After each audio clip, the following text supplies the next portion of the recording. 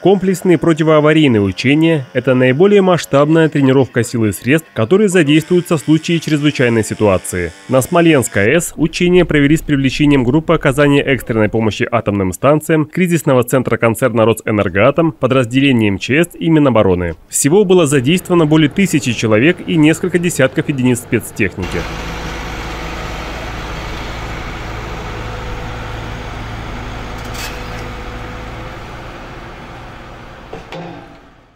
Отрабатывался усложненный сценарий учения, катаклизмы и последующие технические сбои, которые невозможны в местах расположения станций. Персоналом были отработаны навыки по локализации и ликвидации условной чрезвычайной ситуации, а также эвакуации сотрудников атомной станции.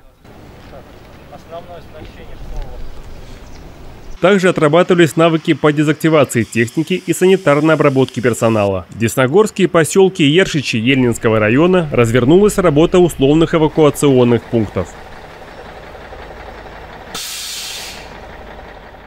Главная цель учений – отработка взаимодействия между участниками аварийного реагирования – была достигнута в полном объеме. Наблюдатели, сотрудники ведомств и специальных служб высоко оценили уровень подготовки участников мероприятия.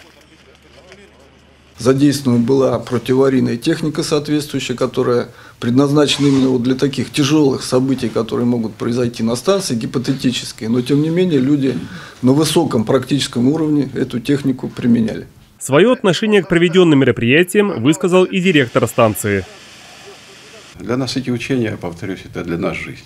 Мы живем с этим, и это правильно, и, и не хочу, ну, сказать, но э, к мирному атому мы относимся с почтением и с уважением. Десногорск – непосредственный город-спутник Смоленской АЭС. Но несмотря на свое расположение и масштабность проведенных учений, будничная жизнь муниципалитета практически не изменилась. Мы не создали лишней паники среди населения. И в то же время э, все службы, которые должны задействоваться, они были задействованы. Все прошло спокойно на высоком организационном уровне.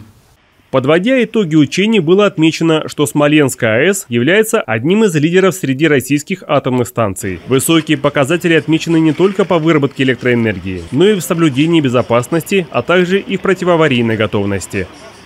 Олег Соловьев, Григорий Шиллин, Юлия Соболева, Александр Ерофеев, Десна ТВ.